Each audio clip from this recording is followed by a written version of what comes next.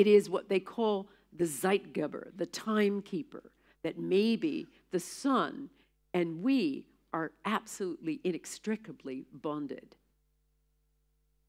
So, what about the last idea we have about our thingness? It is our thoughts are our own. This is what we think is totally ourselves. And we think this, um, at least we did until the work of Giacomo Rizzolatti. And as, as you saw through that video, Rizzolatti was thunderstruck one day when doing his work with movement. He's a neuroscientist who is an expert in movement, and he was looking at this monkeys and he was testing the monkey to see which neuron fired when it reached for a peanut. And he found, as you saw in the movie, that the same neuron essentially fired when a researcher reached for a peanut as when the monkey did himself. So Rizzolatti and his colleagues went on to study lots of other people, you know, human beings, and they just they found that when we see a movement or we see an emotion, essentially the same neurons fire as if we were carrying out the movement, we were having that emotion. What does that mean, actually? First of all, it's a way for us to understand the world, as the movie said. But it also means, in a sense, to make sense of the world, we have to actually merge with it. When we say, we say in the West, I feel your pain, bro. When we say, I feel your pain, what we really mean is we actually do feel it because neurons fire not the actual physical pain, but the emotional content of that pain we feel ourselves. So nature has designed us to understand the world by bonding with it, by merging with it. So let's look at all of this stuff together. If, the, if there's no such thing really as things, if my biology is Ben, yours is built from outside in by everything else outside of ourselves, finally determines the person we're going to be. If we can be influenced by a star hundreds of thousands of miles away, if my thoughts are not just mine, but a complex mix of everyone else's around me, as I do this, you're thinking that, you're feeling that, your neurons are firing as though you're doing that. If all of those things are happening to me, if I'm part of all of this, how can I say that this alone is me? Where can I say that I end and the rest of the world begin? Well, the point is, I can't. I can only understand myself in relationship I can only understand myself, and you can only understand yourself as part of a greater bond. So let's start looking at the whole idea of competition. We've looked at individualism. Let's look at competition because we've been told from the evolutionary biologists on upward that we were born to compete. Even our genes were born to compete.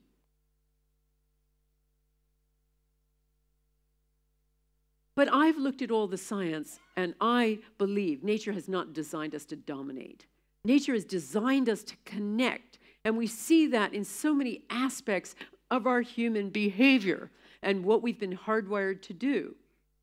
For instance, our need to what I call share, our need to belong. Now, this is contrary to what we try to portray about ourselves in our popular culture. We like to um, do movies and books about the lone wolf hero, the guy with his or woman with his fist up against the establishment, whether he's Nicolas Cage or John Wayne or, you know, Humphrey Bogart or even Superman. The guy who stands up and is a lone individual. And he's probably best epitomized by Gary Cooper in that old movie, uh, The Fountainhead which was based on the book by Ayn Rand. Anybody read that book? That was, this is the, the handbook for Western capitalism, or at least it was. It's considered, you know, it's considered the beautiful sort of fictionalized um, encapsulation of Rand's objectivist philosophy. Now, Howard Roark, if you don't know the story, is an architect. And he's a very uncompromising architect. He wants to build buildings his way. So he designs a public housing project, as he's commissioned to do, and the people who commission it decide to change it. So when it's finally built, the design is bastardized. This infuriates Roark, so he actually blows it up. And because he's a rugged individualist, he decides during his trial, because he's, of course, arrested and put on trial, to defend himself. And that gives Rand a chance for him to, ex, you know, ex, uh, be a mouthpiece for her objectivist philosophy. And so he stands up during his talk to the jury and he says, I do not owe one minute of my life to anyone else. That was my building. I chose to build it. I chose to destroy it. It is altruism that's killing us.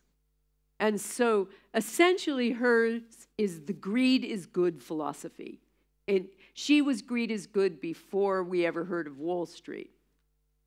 And at the end of the movie and the book, he gets acquitted despite blowing up a city block. He gets the girl, and he gets to build buildings his way. And he stands really at the end, triumphant, the Nietzschean superhero, essentially, the Ubermensch. And he's also the perfect candidate for a heart attack. The evidence shows that when they look at heart attack victims, they find that only half have the usual risk factors, um, you know, high blood cholesterol, um, high blood pressure. The rest, the other half, are actually disconnected and lonely. Loneliness, loneliness has been linked with so many things, and so has the reverse. Now, epidemiologists are really fascinated by the Japanese, for instance, because the Japanese smoke like chimneys but they don't get heart disease until they move to America, in which case, some of them do, lots of them do, but some of them don't. And so this fascinated a group of epidemiologists at Berkeley University. And so they started University of California at Berkeley. And so they started looking closer. And they found this. They found that diet had nothing to do with it. Didn't matter if some of those people who didn't get heart attacks um, had tofu and sushi or Big Macs and fries. The only thing that mattered, the only thing that mattered, is whether they recreated the close community ties that they'd had in Japan. In fact, they flew to Japan, these scientists, to try to find out what this amazing X factor was of impregnable good health. And the Japanese just looked at them like they were crazy. They said, Well, you Americans, you're so lonely. You even walk down the street alone. Anybody can see this. Loneliness, and loneliness has been the cause of all kinds of diseases, and by the same token, connecting is protective not only against heart disease, but stroke, the common cold. Suicides kill themselves because of what psychologists call excessive individuation. They feel left out.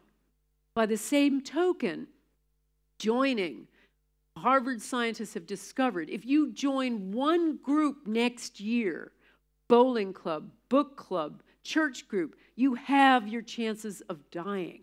It's that powerful. We have been programmed and hardwired to be together, to connect, not to be individuals. Second example that we need to connect is our need to agree with each other. We need to, I call it being aware. We need to agree. And you see this. If you were filming, you're filming me, but if I were filming you, you would see that you're actually nodding and blinking in time to my voice. There have been a lot of stop action type um, studies of this, and they've found people have an incredible need to imitate. And that goes in, in offices, it goes in all kinds of aspects of life. Now, a woman called Sigal Barsade discovered this.